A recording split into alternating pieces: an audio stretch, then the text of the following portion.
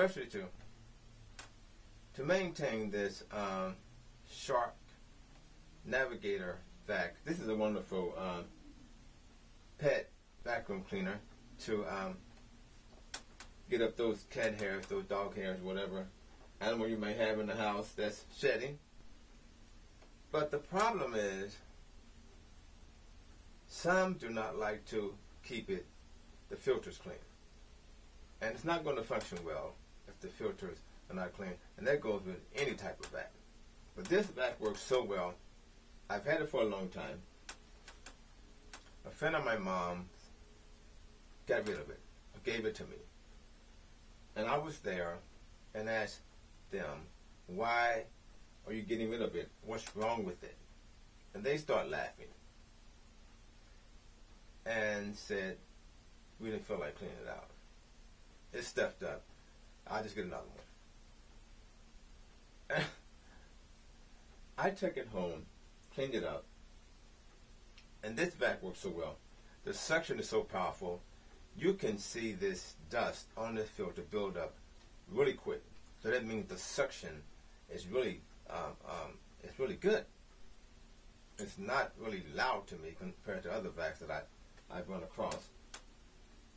But to maintain this vac, you need a shop vac or something else to suck out the dust from the um, these components and to keep the filters clean. Necessary for this thing to work at its optimum. Okay, but um, this is what I'm going to do to maintain this vac. Just want to share this and this. I, I just never ran into another vac that works this well. Lightweight, had the motor on the brushes, the separate. Um, if you don't want to use it, it had a switch at the top. And and when um, using it, I'm just amazed at the suction. I will keep this vac for a long time, long as um, the parts are, are, the, are there and, and working. I don't actually go out and buy vacs. They're all over the place. I drive past dumpsters and down the street, and there are these shampoos and vacuum cleaners setting out. And you go over and look at them, you can't see any physical damage. Look at the filters, and they're loaded. Look at the hoses, they're loaded. People just don't want to be bothered with cleaning them out. Expensive, some of them are expensive. Setting on the curb because they're clogged up. So, this is how I maintain this one. I'm going to show you how to make your own filter. You're going to need some um, a simple sponge and some felt. This is some scrap felt from a project that I was doing just some felt. Simple sponge and uh, some scissors and a little uh, hacksaw blade to uh, cut through this thick sponge to make it sort of even. So we got that, a hacksaw blade, and some good scissors you're going to need for this project. And a small shop vac. So let's get the show on. You're going to also need a five gallon bucket. Put some warm water in it. Have some Fabuloso ready, standby. And some um, detergent, something to make the water soapy.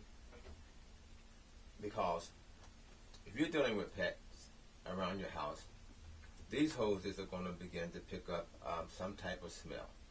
And to get that out, it needs to be rinsed and uh, uh, some water running through there.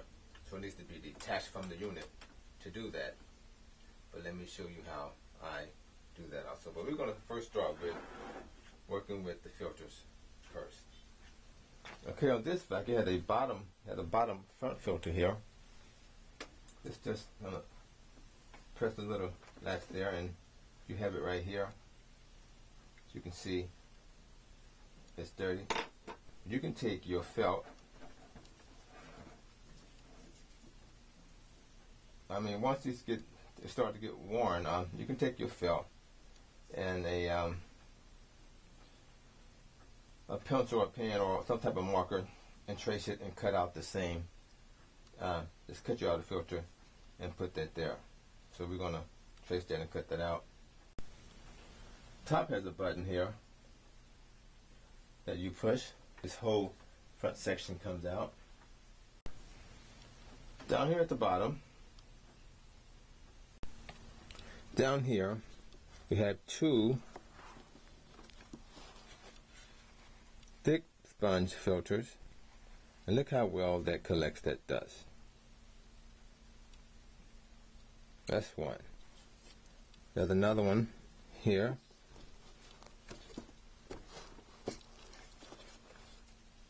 Now this needs to be um, shaken off, knocked off, brushed off. Have you whatever you need to do to get that off of there. Then at the bottom we have another small flat filter. Looks like it maybe two to two two together maybe. But all that needs to be maintained and cleaned. This is like it needs to be thrown out. That's why we have our felt here to make new ones. The reason you need your um, shop vac that you can suck all this stuff out. We're going to take our shop vac.